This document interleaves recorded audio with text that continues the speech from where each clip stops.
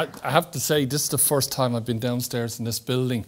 It's not, it's not very often. I was, I was a, a councillor since 99 and fantastic proposal came in to redevelop this, this structure as, as a living building again.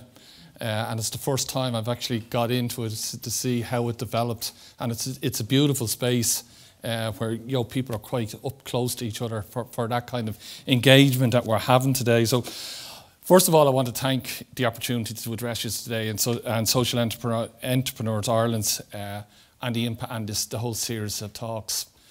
Um, I never thought I would be speaking at, at, the same time as we're doing the spring statement in the Dáil.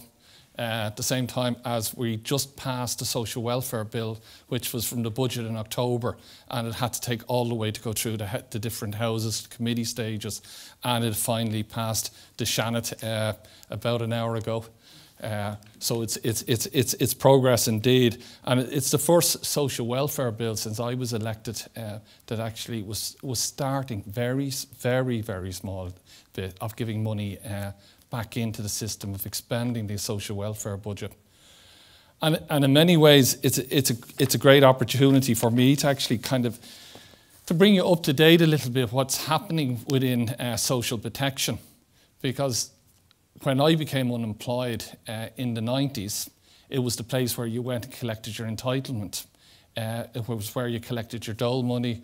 Uh, in the 80s, I was up in Werwick Street, uh, where we were. We went up and we, you collected your money, and the public civil servant was on the other side of a grid, and they slipped the money out. But that's after you queued up with three or four different hatchers, and uh, it was really then in, in, at that stage you lost your dignity.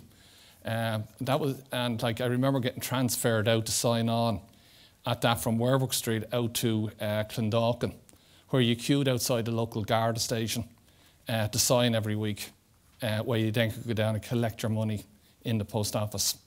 And then everybody drives by and you're kind of stigmatized, oh, they're the unemployed. And we progressed. I believe we progressed along that, and it's been a very difficult period in, for society and for citizens in particular, from where we were uh, of paying a benefit in social protection, where we're a proactive uh, department now that's trying to assist people back into work. Uh, I was very fortunate, I represented an inner city community. That first time that mass unemployment uh, happened to them was the containerisation of port traffic. And at that stage, uh, unemployment went up to 60, 65%. But right through the Celtic Tiger, uh, in many of the communities I represented, we had unemployment rates of 54%. Uh, when people were talking about full employment. Yet there was large sections of the community I represent and Dublin Local City Council that had unemployment rates of 54%. Uh, I remember doing a particular flat complex, and that was the that was the figures came. It was the local LES that done it. Uh, we done it in partnership. We we shared the work and shared the outcomes. And when you broke down that figure, uh, it was intergenerational. And certainly, when I got an opportunity within social protection uh, to try and ensure that this time, as recovery is starting to come, is that we leave no one behind. Uh, so that just doesn't mean that people now leaving school should be able to go into a job. What I want to see, and what the government very much wants to see, is the number of people that lost their jobs in, at the beginning of this recession. And this goes back five or six years now. And I would have friends and people I meet on a regular basis that are now five years unemployed. Now, they got a little bit of temporary work here and there, but by and large, they haven't worked for five years. There's an enormous gap. Uh, when, they, when they go to an employer, they have this big, enormous gap in their CV. It's through no fault of their own. The work just wasn't there. So, how are we now going to develop what I would call an inclusive society for the people that have been worse affected during this, this recession?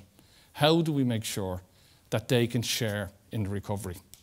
And I believe firmly the way we can make sure that they share in recovery is to make sure that they have the opportunity to go back into employment. And what's happened and what the Taoiseach has developed in that is what's called the new Intreo centres. Uh, and they've been springing up right across the country. And what we call them is the one stop shop.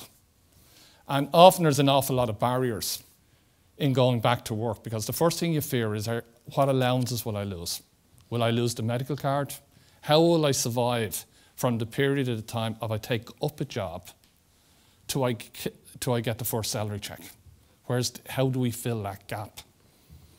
Uh, and these are, are, are real problems for real people.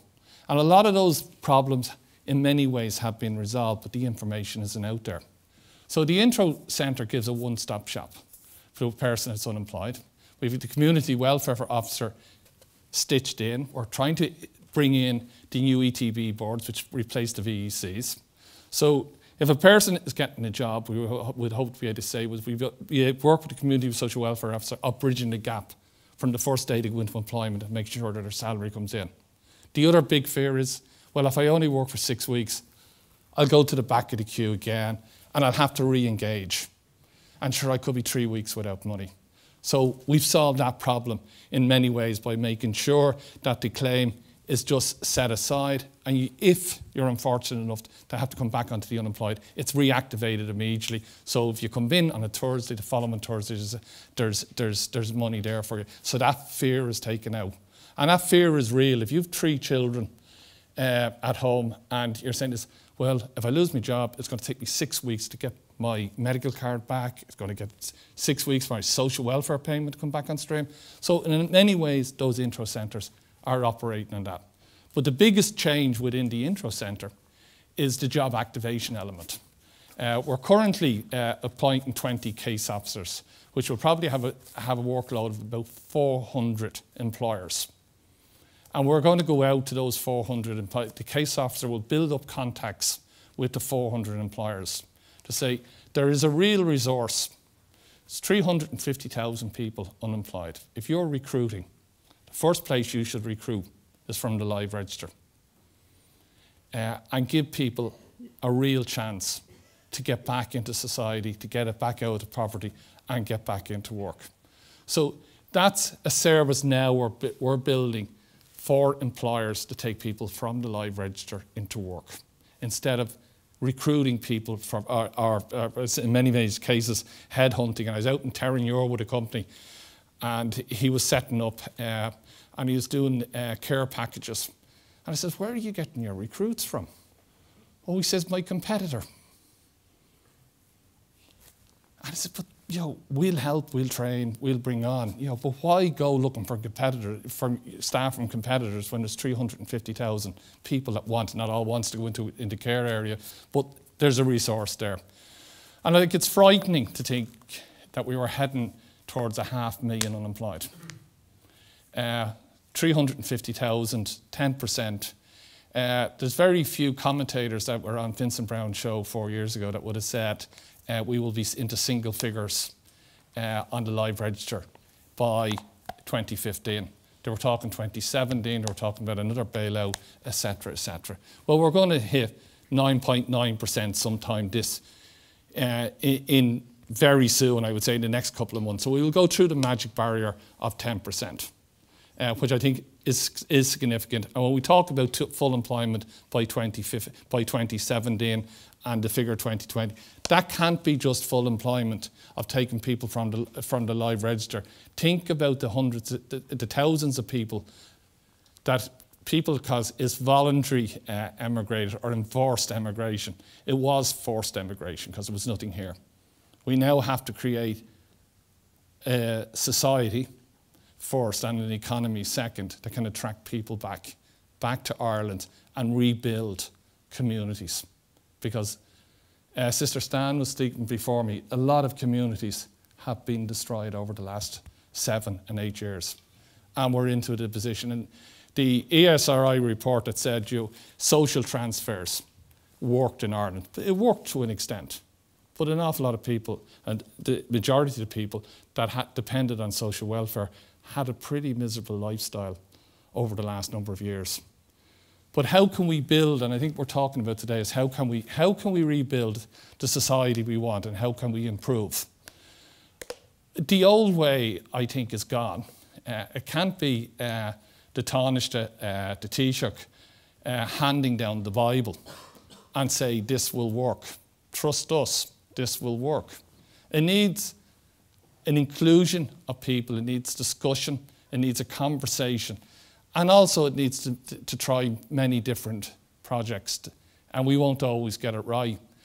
Uh, I was in Sligo there uh, last week, and we're just coming to an end of, of the DAC programme, uh, which was run in the border counties. Uh, and it was 14 projects that was co-funded by the Department of Social Protection and the EU. And this was to, to look, at, look at how we can help people with disabilities re-enter the workforce or enter the workforce for the first time.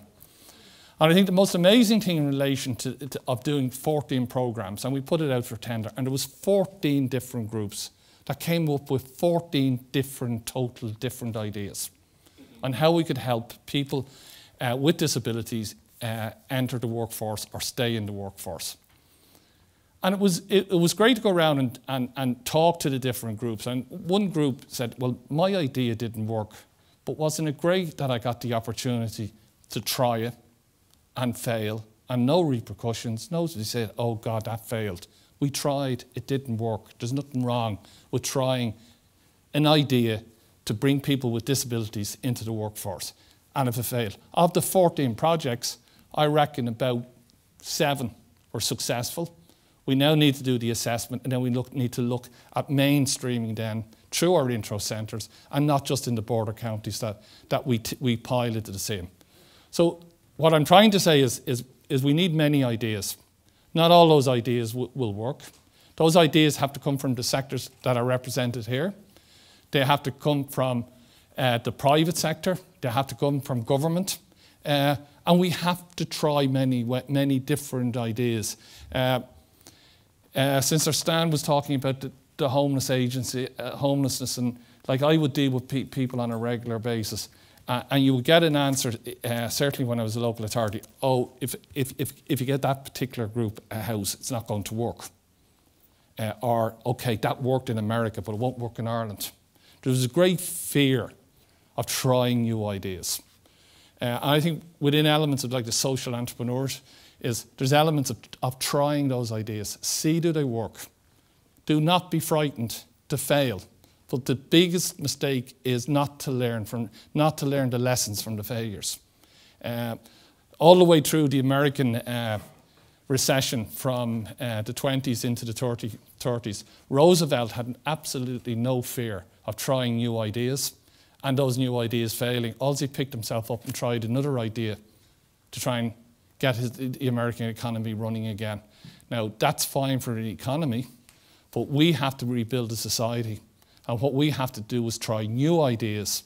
Don't be fearful from where those ideas are coming from, but only be fearful if, you do, if you're not prepared to try. Uh, and that's, what I, that's my approach. I'm not fearful of trying, I'm not fearful of failing. But I'm, I'm not going to stand back and not try new ideas on a constant basis because I've seen too many of my friends, uh, too many members of my family, and too many members of my community being left behind when, when growth came into the economy. There was an idea is increase unemployment benefit, but sure, they're too long out of employment, they're not going to get work. Now, I don't believe that we should put anybody on the shelf and say the recovery is not for that group, it's for the young people coming out of colleges.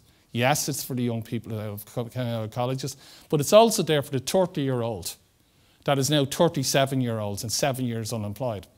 The recovery is for him and her as well, and we can't leave them behind, or we can't leave the 50 year old that lost his job when he was 45 years of age. Uh, we tried that before. It doesn't build an inclusive society, uh, and that's what I'm about. Uh, it's been a hard road over four years. There is a little bit of, and I can see that light coming down me. I wish the recovery uh, light was as strong, but there is a, there is a light at the end of, of the tunnel. It's, it's starting to filter in. Uh, I'm looking forward to seeing uh, the live register dropping to 9%. I think it'll, it'll hit there relatively soon. But when we start getting there, we have to make sure it's shared equally across. And the most vulnerable and the people that have been hardest hit during the recession are the first to start feeling that recovery, start feeling that regrowth, start feeling that opportunity to get back into employment, education, or training. We have a responsibility, and I don't mean a political way, I mean as a society, we have a responsibility to make sure as this recovery grows, everybody gets an opportunity to share. And, uh, a, little bit of disjointed thoughts, uh, but I think you can see the, tr the, trend and see where I come from. Uh, you know, when I uh, when I when I'm in a Dáil, I often feel in many ways uh, how much I have to add to the conversation. Uh, and people sometimes say to me, "Are you? Did you go to Trinity or UCD?" And I said, "No, I went to University of Life." Uh, nearly all my classmates left at the Intercert. I think at one stage there was only two of us in Ireland. The rest had to emigrate. Uh, I, I emigrated for a short period as well and came back. We, the first thing I, I would like to see for my community, which is an inner city community, is, is equality of opportunity in education. And the only way we can achieve that is by early intervention. Uh, and I think we have to start targeting early intervention in education. And there's work being done, I know, eh, by Professor Josephine, Josephine Bleach in uh, early learning initiatives. Uh, and we have to look at that for all the communities around that hasn't historically got a record of going into third level education. The intervention has to start placing, has to start taking place at the age of two, three, and four before they go into primary school, and we have to give the support. support. And that's an idea that came from social entrepreneurs of targeting that type of investment into very young children and young families to make sure that they get equality of opportunity later in life to go into third level education. And we have to make sure those, those opportunities are. I hope I haven't spoken too long. It's just a couple of random thoughts in, in, in relation uh, to where we are at the moment. I never thought we would be where we are four years ago. Uh, I actually uh, believed some sometimes some nights I, in total uh, disheart. I'd listen to Vincent Browne, and we'd have all the different. Says, You're heading into another bailout. We're, head, we're looking at 50% unemployment. Uh, things are terrible and there's not, not a hope of coming out of this until 2020. Well, thankfully, we're a lot further along the, along the road than what they said we'd be. Uh, and the challenge that we all have is to make sure everybody shares in the recovery. Uh, and I think that's a very large challenge. And I hope to be involved uh, over the next couple of years to ensure that everybody has an opportunity to share in the recovery. Thank you very much.